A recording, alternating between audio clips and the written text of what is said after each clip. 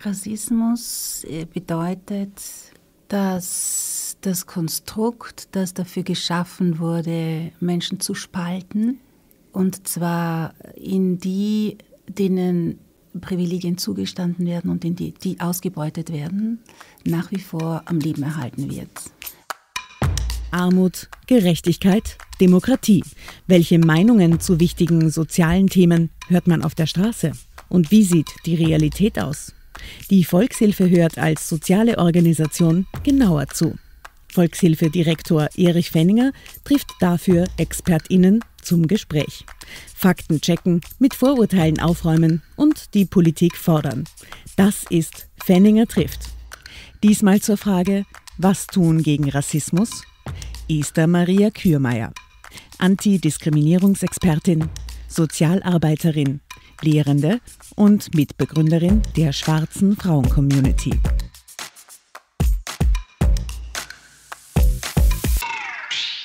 Ja, willkommen bei Fenninger trifft. Ich freue mich sehr, dass Esther Maria Kürmeier heute bei mir ist. Und sie hat ja etwas gemeinsam. Unsere Erstprofession ist ja die der Sozialarbeit, wenn ich richtig informiert bin. Und das Besondere an ihr ist, dass sie eigentlich die schwarze Frauen-Community begründet hat. Mit dem Ziel, sondern überparteilich, überkonfessionell, überregional für schwarze Frauen in Wien etwas zu tun und sehr stark einfach Mädchenberatung, Empowerment, Arbeit durchführt, Vorträge, Elternbildung vornimmt und auch Sensibilisierungsworkshops anbietet. Also wenn ich einiges vielleicht erfasst habe, aber wenn du mir ergänzen magst, glaube ich, es ist am Beginn ganz hilfreich. Ja, also erstens mal habe ich die Schwarze Frauen-Community nicht alleine gegründet. Mhm. Ähm, wir waren schon einige Frauen.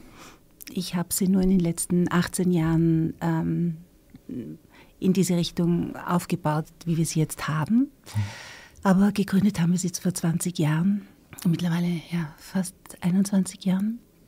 Die Tätigkeitsfelder sind sehr gewachsen in dieser Zeit. Also wir haben begonnen in der Zeit, seit ich sie leite, mit einem Mädchenprojekt. Über dieses Mädchenprojekt sind dann die Mütter der Mädchen und im weitesten Sinn die Frauenberatung entstanden ein Jahr nach der Gründung des Mädchenprojekts, das auf Betreiben von Müttern, weißen Müttern schwarzer Mädchen entstanden ist, die sehr dringlichen Bedarf gesehen haben, ihre Töchter in der österreichischen Gesellschaft zu stärken, weil die sehr, sehr schwere äh, Identitätsfindungsprozesse durchgemacht haben.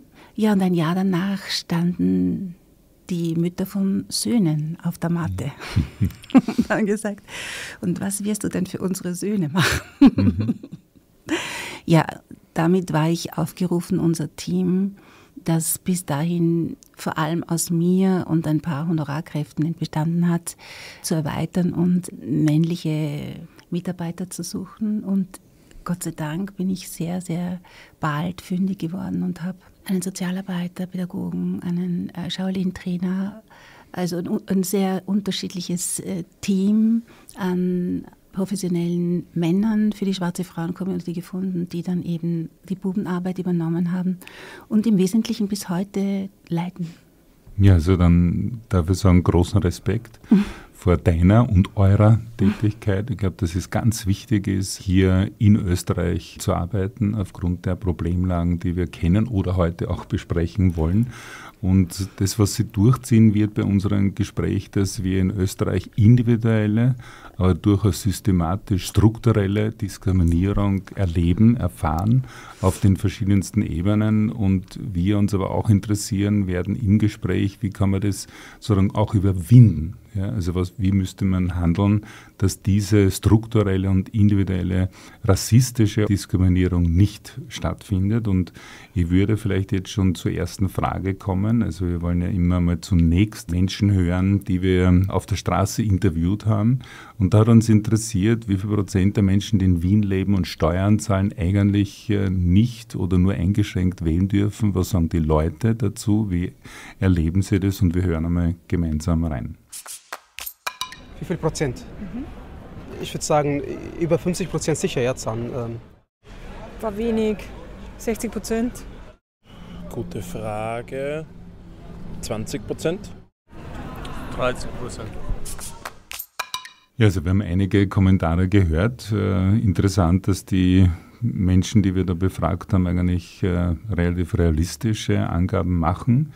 Ähm, wir erleben ja in Wien, dass 33,4 Prozent der Menschen, die hier leben, nicht berechtigt sind zu wählen und in manchen Sprengeln sind es beinahe 50 Prozent. Das heißt also, wir leben in Städten, wo so viele Menschen eigentlich strukturell, wenn man die Demokratie auch als Struktur begreift, verhindert werden, behindert werden, zu wählen, wählen zu gehen, aufgrund der nicht vorhandenen Staatsbürgerschaft oder nur EU-Bürgerinnen, die dann wählen dürfen. Das ist dramatisch, wenn wir gemeinsam leben, aber nicht gemeinsam mitentscheiden. Und da würde mich interessieren, was ist deine Erfahrung und wie wirkungsmächtig eigentlich du diesen Ausschluss siehst?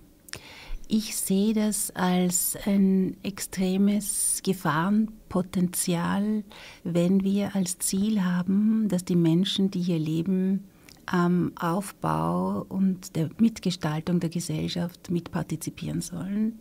Und insofern ist es das Gegenteil von dem, was wir in einer diversen Gesellschaft wollen, nämlich mündige Bürgerinnen, die mitgestalten, mit Verantwortung tragen, was sich natürlich sowohl auf struktureller wie auch auf individueller Ebene auswirkt. Mhm. Wie wir alle, da brauchen wir gar nicht weit zu den anderen gehen, die wir nicht kennen, da brauchen wir nur bei uns selber schauen, wie fühlen wir uns, wenn wir wo ausgeschlossen sind von Partizipation, wie groß ist unser Engagement mhm. für die mhm. gemeinsame Sache. Ja.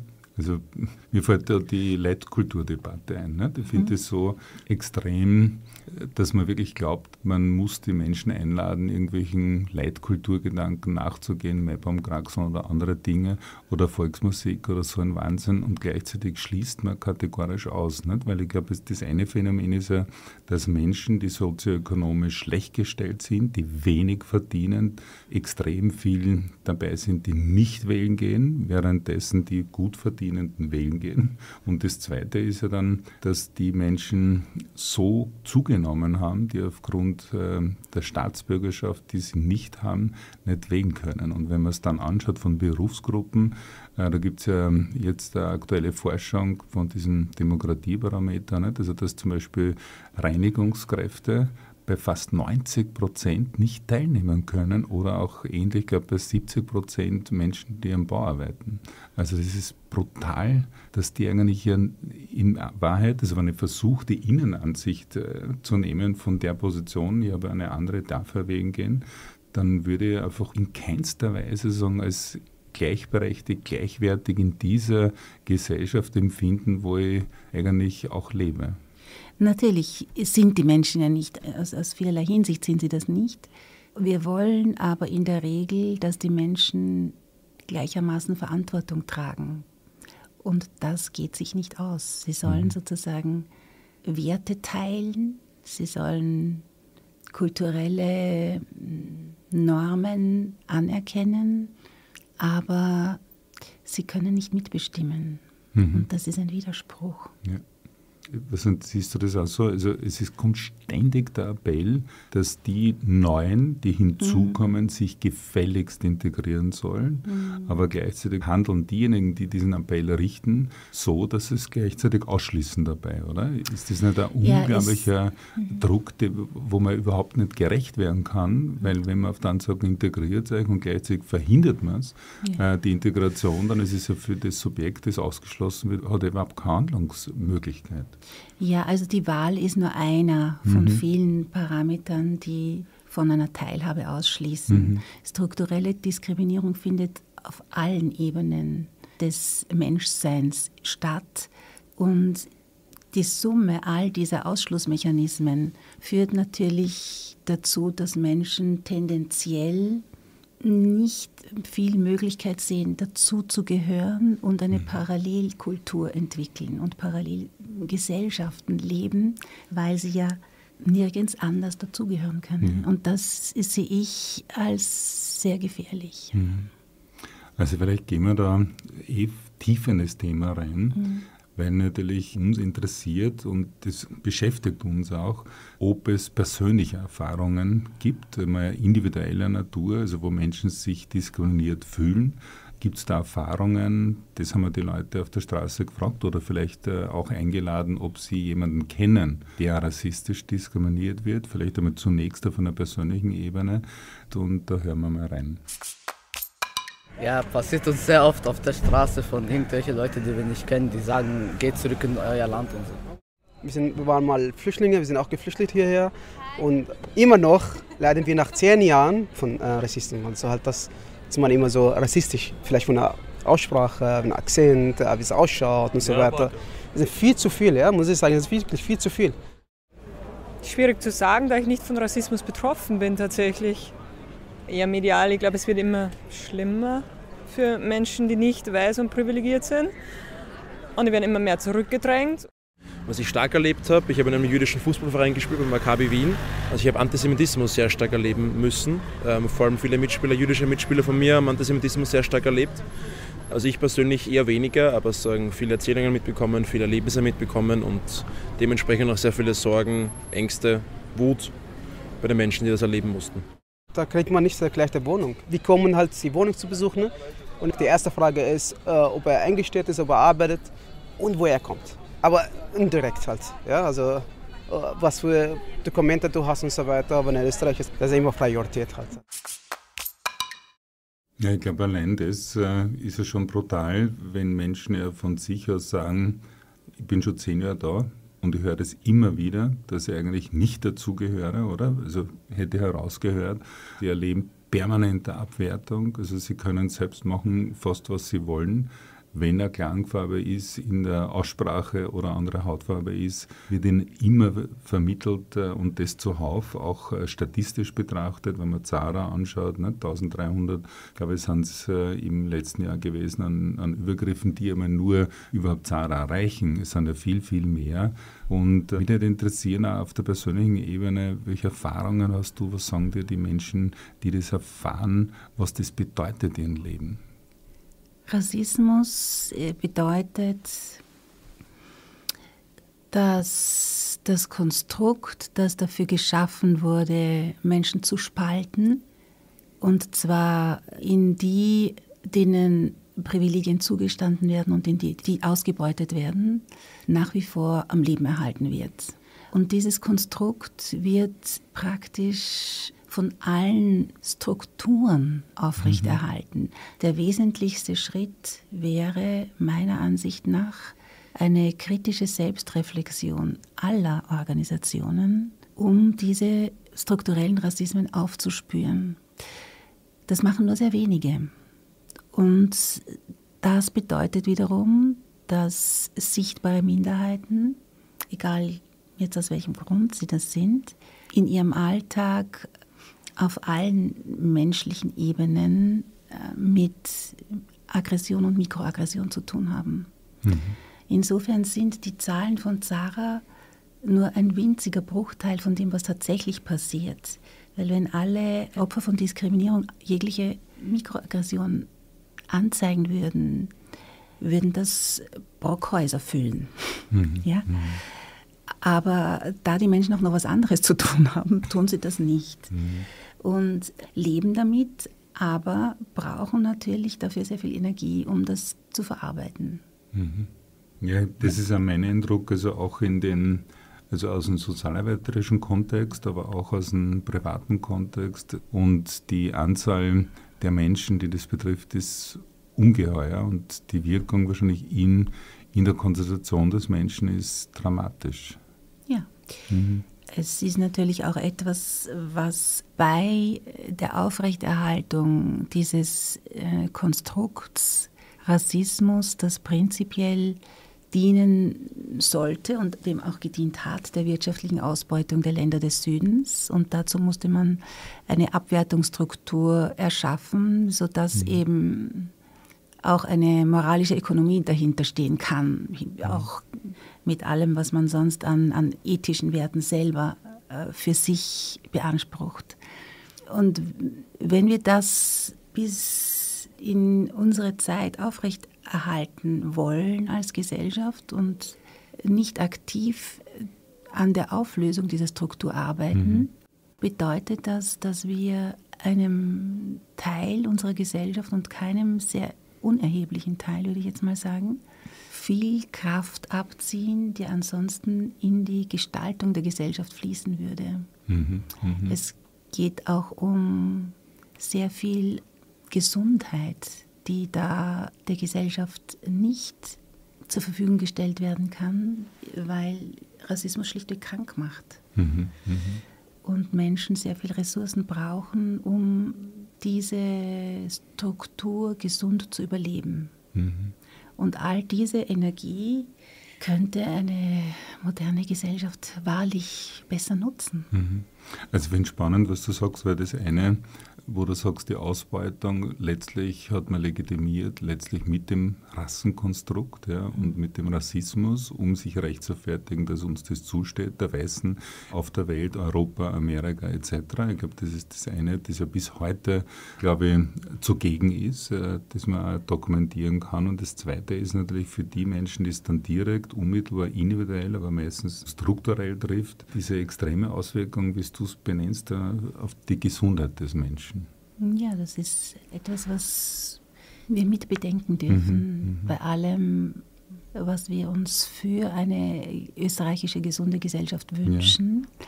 das sozusagen verhindert wird mhm. in so einer in so einer mentalen Starre des mhm. Auf, Aufrechterhaltens von einem Status quo, der im Grunde genommen nie Gleichwertigkeit ja ähm, als mhm. Ziel hatte, sondern das Gegenteil davon. Und wir sehen das in allen Museen, in allen Strukturen, die wir uns ein bisschen tiefer ansehen, wie die Betrachtung schwarzer Menschen zum Beispiel ab diesem Zeitpunkt, in dem Kolonialismus begonnen hat, eine mhm. Rolle zu spielen und ein Ziel war, wie schwarze Menschen plötzlich dargestellt wurden, ja. wie Menschen in der Wissenschaft dargestellt mhm. wurden, mhm. wie Menschen in ihren eigenen Länderkontexten dargestellt wurden.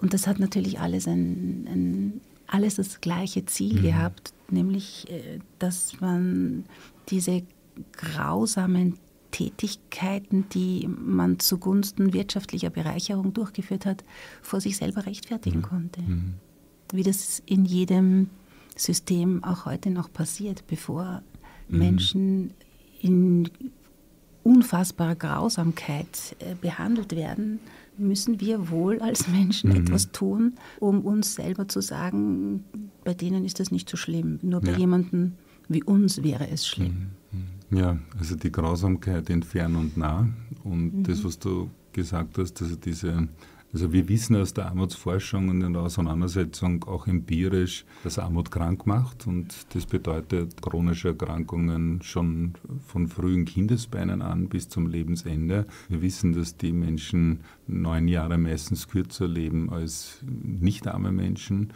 und auch Rassismus macht krank aus dem äh, Aspekt, also welches Leid sozusagen auch psychisch erlitten werden muss, das natürlich sich insgesamt auf die Gesundheit auswirkt. Aber ich glaube, glaube, wir müssen weitergehen. Und äh, die letzte Frage war eher, hat man Erfahrung mit individueller Diskriminierung, rassistischer Diskriminierung? Und jetzt wollten wir wissen, ob die Menschen, die wir interviewt haben, auch diese systematische, strukturelle Diskriminierung, die rassistische Diskriminierung äh, identifizieren, ob sie es äh, sehen oder nicht sehen. Und bin gespannt, was die Leute sagen. Ich möchte noch eine Sache dazu fügen. Rassismus kann krank machen. Es mhm. bedeutet nicht, dass alle Menschen davon krank werden, mhm. aber es bedeutet, dass es, um gesund zu bleiben, einen unglaublichen Mehraufwand braucht. Ja. Mhm. mhm. Ja, es ist überhaupt der, der ganze Zugang zum Arbeitsmarkt extrem beschränkt. Also egal wie lange man da ist und ob man arbeiten will, es ist einfach wird unmöglich gemacht. Und dann wird sich aber darüber beschwert, dass am Donaukanal von Menschen, die zum Beispiel keinen Zugang auf einen Arbeitsplatz haben, Bier verkauft wird aus dem Rucksack raus, was an der Steuer vorbeigeht und so weiter. Was auf jeden Fall, glaube ich, da zu nennen wäre, ist mal prinzipiell der sehr schwere Zugang überhaupt zur Staatsbürgerschaft in Österreich. Der ist ja enorm. Ähm, also überhaupt die Staatsbürgerschaft erlangen zu können, ist einmal extrem schwierig und absurd, wie das eigentlich geregelt ist. Ähm, sehr viele junge Menschen oder Menschen, die hierher geflüchtet sind, ähm, eigentlich de facto gar keine Chance haben, die Staatsbürgerschaft bekommen zu können oder auch die ja schon hier geboren wurden, hier leben und einfach keinen Zugang haben. Das würde ich mal ganz stark als Diskriminierung sehen, als Ausgrenzung sehen. Ja, also spannend. Starke Betonung auf dem Arbeitsmarkt. Nicht? Wir wissen ja, wenn Menschen zu uns kommen, schutzbedürftig sind, dass sie eigentlich einen Zugang zum Arbeitsmarkt verwehrt bekommen. Gleichzeitig sagen diejenigen, die ihnen das verwehren, dass die Menschen schuld wären und zu faul wären zu arbeiten und wollen sie dann in freiwillige Arbeit schicken. Die ganzen Deutschförderungen sind einfach definitiv nicht so gegeben. Kürzung bei der Sozialhilfe, bei Zuwanderung muss man gewisse äh, Höhe eines Einkommens überhaupt äh, erreichen, damit man nachher irgendwelche Ansprüche hat. Und natürlich auch das Racial Profiling, das ja in der Polizei zugegen ist. Wie würdest du das von deiner Tätigkeit her, von den Erfahrungen beschreiben, diese systematische Ausschließung, welche Bereiche erscheinen dir besonders ausschließend und institutionell rassistisch? Es sind alle Bereiche mhm. institutionell rassistisch. Und ich möchte da gar nicht einen herauspicken als den Schlechten und den anderen als den Guten. Es gibt im Gesamten, in allen Strukturen, begonnen, sobald die Leute aus ihren eigenen vier Wänden rausgehen, begegnen ihnen diese Strukturen. Und es ist völlig egal, ob sie nun auf der Straße mit Mikroaggression zu tun haben, ob sie im Supermarkt von einer Verkäuferin verfolgt werden, weil man denkt, sie würden etwas stehlen, ob sie in Bildungsinstitutionen erleben, dass ihre Kinder diskriminiert werden, ob sie in medizinischen Bereichen in der sozialen Arbeit, also da brauchen wir uns nicht auszunehmen, mhm. auch dort findet sehr, sehr viel Diskriminierung statt von Klientinnen.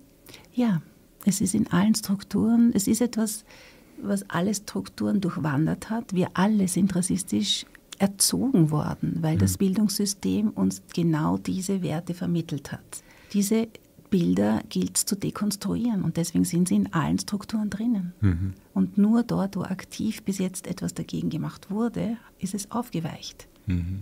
Und sonst ist es überall da. Also passt eigentlich aus deiner Sicht, das was mir einfällt, das Bild von Bourdieu, äh, der auf der einen Seite sagt, die Menschen leben natürlich auf dem Spielfeld, auf dem Feld, auf dem sozialen Feld, wo wir uns bewegen, aber das ist eigentlich ein Raum, ähm, äh, in denen wir Menschen verorten können, aufgrund ihrer Kapitalausstattung oder Behinderung eines zu kriegen, dass die Menschen in Österreich mit anderer Hautfarbe hierarchisch in allen Bereichen aller Institutionen benachteiligt und abgewertet werden und eigentlich die tägliche Erfahrung das äh, widerspiegelt. Ja, es ist die Ausnahme, ist das Besondere. Es mhm. ist nicht so, dass man davon ausgehen kann, dass das irgendwo nicht so ist, sondern es ist eher das Besondere, wenn es irgendwo nicht ja. so ist. Ja, also es gibt natürlich fantastische Bildungseinrichtungen, wo das nicht statt, wo keine Diskriminierung stattfindet. Es gibt äh, fantastische Ämter, bei denen das nicht stattfindet. Es gibt wunderbare äh, Nachbarschaften, wo, Wohnungsvermieter, aber auch natürlich gibt es wunderbare Polizisten und Polizistinnen, die einen Horizont haben, der über Diskriminierung hinausgeht. Mhm. Aber die Norm ist das nicht. Ja. In keinem Bereich, auch nicht eben bei Sozialarbeiterinnen. Mhm. Also Wo es sehr oft meiner Ansicht mhm. nach am härtesten trifft, weil die Menschen, es, die dorthin kommen ähm, und Schutz erwarten ja. und dann mit Diskriminierung und Rassismus zu tun haben, besonders vulnerabel sind. Also ich würde das auch total unterstützen, weil das ist sozusagen der Ort, vielleicht der letzte Ort, den man dann mhm. aufsucht und sie erwartet, okay, trotz Scham, trotz ähm, meiner eigenen Ängste, ich suche jetzt die Sozialarbeit auf und eigentlich würde man erwarten, dass dort der Schutzraum ist und wenn mhm. der plötzlich auch zum Abwertungsort äh, wird, dann ist es natürlich brutal, weil wo kann ich dann noch hingehen? Und ich muss vielleicht zur nächsten Frage übergehen.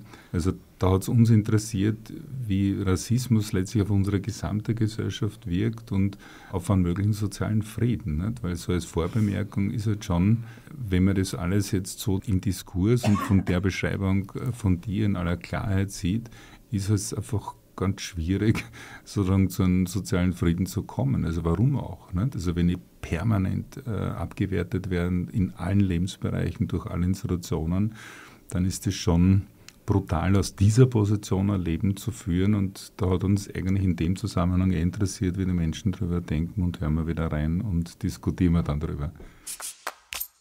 Sorgt einfach, dass unser Land extrem gespalten wird. Jetzt nicht nur zwischen links und rechts, sondern zwischen sozialen Schichten, zwischen Herkünften, zwischen sozialer Herkunft, ähm, zwischen wie man liebt, woher man kommt und wie man glaubt, etc.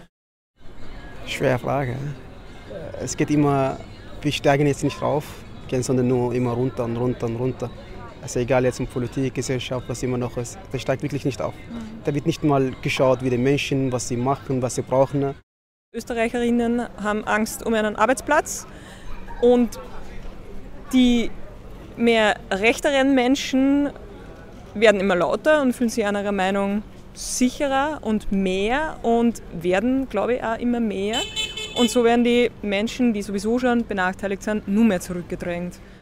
Ich glaube, das ist generell ein Problem von Österreich, dass da einfach viel zu oft weggeschaut wird. Ich glaube, in Österreich ist das schon so stark vernachlässigt worden die letzten Jahre, die letzten Jahrzehnte, dass eigentlich die meisten sich da schon damit abgefunden haben, kommt man oft vor. Die Frage ist halt nur, wie wichtig ist es den PolitikerInnen, ähm, dagegen was auch zu tun oder profitieren sie nicht sogar davon? Das ist die Frage.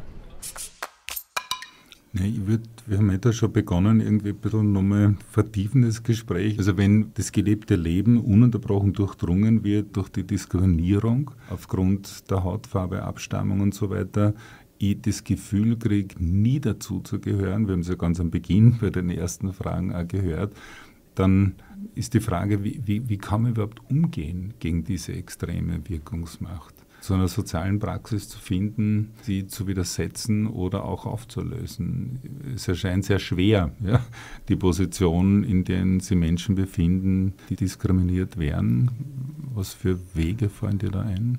Mir ist als erster Weg und der nächste Weg ist immer durch Workshops, durch Reflexionsprozesse in den eigenen Strukturen, in den eigenen Reihen die Bilder aufzubrechen weil der Friede entsteht, indem wir einander den Wert und den Menschenwert nicht absprechen.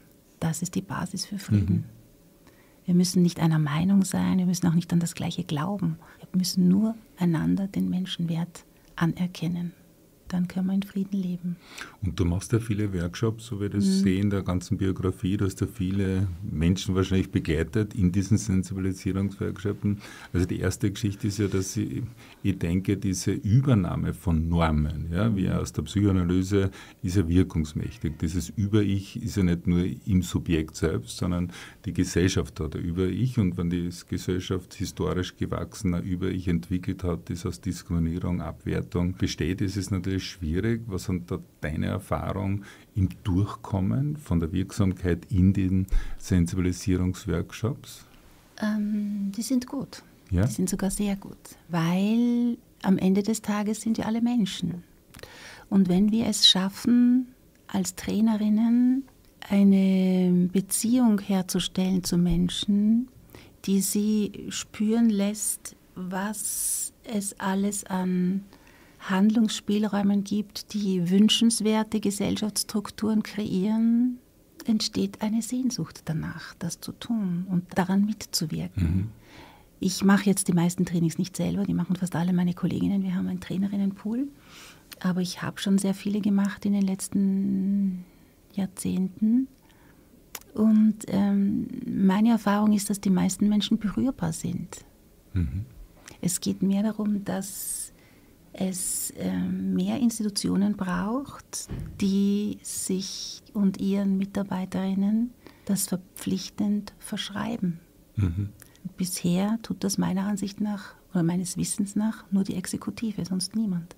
Okay, das heißt eigentlich, äh, in dem Bereich gibt es eine Entwicklung, wahrscheinlich auch aufgrund der Notwendigkeit und des Drucks, äh, der gegeben ist. Aber ich finde es spannend, dass eigentlich du siehst, das sind die einzigen, die jetzt begonnen haben vielleicht, aber die anderen Institutionen äh, nicht, was ja darauf weist, äh, womöglich, na, uns trifft es eh nicht, wir sind ja gar nicht so strukturell rassistisch und die Wahrheit schaut anders aus, oder? Ist das Das der Befund? ist so, ja, das mhm. ist der Befund. Es ist am gefährlichsten und am schwierigsten etwas aufzubrechen, dort wo die Menschen der Ansicht sind, mhm. sie haben sowieso keine Rassismen. Mhm. Weil wir haben sie alle. Ja? ja? Wir alle sind rassistisch strukturiert aufgewachsen. Mhm. Mhm. Wir haben diese Bilder vermittelt bekommen. Wir können sie nur bewusst auflösen. Wir können mhm. nicht nicht hinschauen und sagen, wir haben es nicht. Ja. Dann bleiben sie wirksam. Mhm. Das finde ich spannend auch innerhalb meiner Organisationen haben wir natürlich Diskurse, solange wie können wir Diskriminierung vermeiden, wo fängt es an, aber ich glaube auch, dass du recht hast und ja vorher schon die soziale Arbeit auch benannt, also nicht mhm. als Täter grundsätzlich, aber es darf dort schon gar nicht das drinnen stecken und es steckt manchmal drinnen.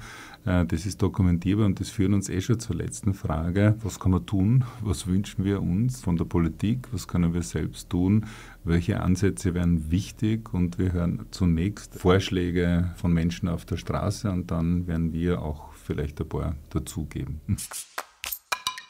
Richtig Politik. Ich würde sagen, dass sie alle zusammensitzen und bevor sie schauen, wer gewinnt und wer das der Macht hat, sondern schaut nur, was die Menschen gerade brauchen. Vielleicht gibt man so ein bisschen Chance für die jugendlichen Leute, ja? Die haben mehr Idee. Da muss man sich halt als Staat überlegen, wie kann ich Menschen unterstützen oder wie kann ich einer einen Zugang gewähren. Naja, man sollte sich immer überlegen, ob man selbst so behandelt werden möchte, wie man andere Menschen behandelt. Das wäre irgendwie wünschenswert, dass man sich das überlegt, bevor man was tut. Man sollte auch jeden respektieren, egal wo er herkommt. Egal, ob man weiße Hautfarbe hat oder schwarze. Mensch ist Mensch persönlich, was würde ich verändern? Ich glaube, die Umverteilung ist ein sehr großes Thema. Also einfach, wie viel Geld der Staat investiert und worin, wo die Prioritäten liegen. Äh, also vor allem die Menschen, die einfach halt in unserem Sozialsystem, in unserer Gesellschaft einfach zu kurz kommen. Also Menschen mit Migrationsbiografie, Menschen, ähm, People of Color, alle möglichen Menschen, die einfach halt in der Politik, auch in der Gesellschaft unterrepräsentiert sind. Den Menschen, also ich würde in mehreren Punkten ansetzen. Ich würde sehr, sehr viel daran arbeiten, äh, Präventivarbeit zu leisten, an den Schulen und Bildungssystem ansetzen. Ich würde dabei ansetzen, dass alle möglichen Formen von Diskriminierung aufgearbeitet werden in Österreich, an den Schulen, in, in der Arbeitswelt etc. Und, und dadurch versuchen, den Wandel hinzubekommen in unserer Gesellschaft. Ja, ich glaube, die letzte Aussage, Aufarbeitung, passt zu deiner Aussage, nämlich einerseits institutionell, es steckt überall drinnen, es ist, es ist nicht bewusst, also Bildung, Zurückschauen, Aufklärung, eigene Selbstreflexion, um besser zu entscheiden. Was wäre dir ein Wunsch? An die Politik oder an, auch an Institutionen, um hier weiterzukommen? Weil wir erleben ja eher nicht das Weiterkommen, sondern zurückgedrängt werden. Ja, also ich denke, in der Politik gilt es schon, den Parteien, die der Demokratie sich verpflichtet fühlen, ihren Anteil an antidiskriminatorischer Arbeit zu leisten in der mhm. Praxis. Mhm. Und dasselbe gilt natürlich für Institutionen. Und Reflexion funktioniert eben in diesen Bereichen nicht nur ich alleine zu Hause lese ein gutes Buch und danach weiß ich alles. Also es braucht schon geleitete Reflexionsprozesse, weil die blinden Flecken weiß man selber am besten auszublenden. Mhm. Und insofern kann ich auch nur allen Institutionen empfehlen, sich diese Mühe zu machen. Also wir haben jetzt ohnehin in drei Wochen, glaube ich, am BM Köst zum Beispiel einen Workshop und das ist dort schon der zweite. Mhm. Also es gibt natürlich auch diese Möglichkeit, sich als Institution dieser Fragestellung ernsthaft zu widmen und die eigene Täterinnenrolle als solche zu sehen, weil wenn wir etwas nicht dekonstruieren, sind wir Täterinnen. Mhm ob wir das wollen oder nicht. Und wenn wir jetzt einen Schritt weiter denken und die äh, Gefährdung eines demokratischen Staats letztlich auch sehen durch politische Strömungen, können wir durchaus aus der Geschichte lernen, dass selbst diejenigen, die erstmal denken, sie haben daraus Vorteile in der Praxis, in einer Struktur der Unterdrückung ebenfalls gefangen und unterdrückt sind. Da gibt es nichts zu gewinnen. Es gibt, es gibt keinen Schutz in mhm. einer antidemokratischen Struktur. Für niemanden. Da herrscht die Angst für alle. Und das haben wir mhm. hoffentlich aus der Geschichte nicht ganz vergessen. Mhm. Aber ich denke, also, ich find, also du sagst schon, also an dem Bewusstsein oder sich bewusst machen, wie viel äh, rassistischer Tradition, Geschichte in mir als Subjekt ist, in meiner Partei in dem Fall äh, drinnen steckt, dass das eine Bewegung ist und das andere ist, dass ja mir erscheint, wenn man die Parteien so durchgeht, ist ja vollkommene Unterrepräsentation von People of Color, oder? Also das ist ja gerade die andere Bewegung, dass das so nicht geht. Ja? Wahrscheinlich, indem wir in dem die Parteien, die auch selbst jene, die vorgeben, hier eh antirassistisch zu sein, trotzdem ausschließende Prinzipien, Mechanismen haben müssen, weil sonst wären die People of Color mehr vertreten in den äh, Parteien. Meiner Ansicht nach sind die Parteien ein Spiegelbild der gesellschaftlichen Institutionen per se. Mhm. Es sind schwarze Menschen, People of Color, in allen Institutionen unterrepräsentiert, mhm. wenn es um qualitativ hochwertige Positionen geht. Mhm. In allen. Mhm. Auch in der sozialen Arbeit. Also am Schluss würde mich interessieren, neben den Themen, sozusagen, die du als mögliche Lösungen ansiehst, wie, wie, siehst du die soziale Praxis? Weil ich denke, das Bewusstsein entsteht ja nicht nur eben aus der Vernunft, Buchlesen und aus der Theorie, sondern aus der sozialen Praxis und vor allem die soziale Praxis kann ja anderes Bewusstsein wieder machen. Und deshalb ist uns als Volkshilfe das Engagement in der Zivilgesellschaft wichtig und dort beispielsweise Black Voices und so weiter zusammenzuarbeiten, mit beizutragen, sozusagen in Bündnissen und auch im öffentlichen Raum eine nach Butler Verkörperung zu schaffen und neue soziale Praktiken entwickeln, wo wir gemeinsam an Zielen arbeiten. Also das erscheint mir auch eine Methode, die wirksam sein könnte. Einerseits, weil wir neue soziale Praxis generieren und diejenigen, die nicht aus der schwarzen Community sind, also wir lernen ja auch durch die neue gemeinsame soziale Praxis. Ist das auch ein Element, das du bedeutsam findest? Selbstverständlich, selbstverständlich. Ist ein Miteinander in jedem Fall der fruchtbarste Weg zu gegenseitigem Lernen. Ja. Nur ist das Miteinander manches Mal, und da habe ich eben durchaus auch Erfahrungsberichte gehört von, von Frauen, eines, das sehr auf ihre Kosten geht, weil das Miteinander oftmals bedeutet, es wird jetzt eine schwarze Frau eingestellt, die wird dann von den anderen abtyrannisiert und sie traut sich der Leiterin aber nicht sagen, weil sie die einzige ist in der Struktur und eben der Token, wo selbst wenn die Leitung dann sagt, wenn dir irgendjemand diskriminierend gegenübertritt, sage es mir, dass eine Worthülse bleibt. Es mhm. gibt keine Sicherheit in einem Team, dass dieses Thema nicht bearbeitet hat mhm. als Team. Das heißt, das wäre ein gutes Ende des Gespräches, also die klare Empfehlung, Selbstverantwortung zu übernehmen in Organisationen, sich zu öffnen, aber gleichzeitig einen Prozess der Transformation in den Organisationen herbeiführen. Das könnte ein wirksamer Prozess sein der Veränderung. Ansonsten würdest du glauben, dass das an der Oberfläche bleibt. Es bleibt an der Oberfläche und ist zutiefst auszehrend für die Einzelpersonen, mhm. Die sich in diese Strukturen hineinbegeben.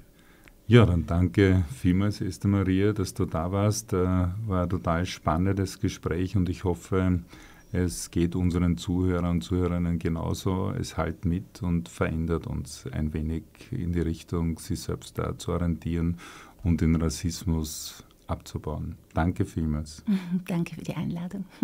Danke.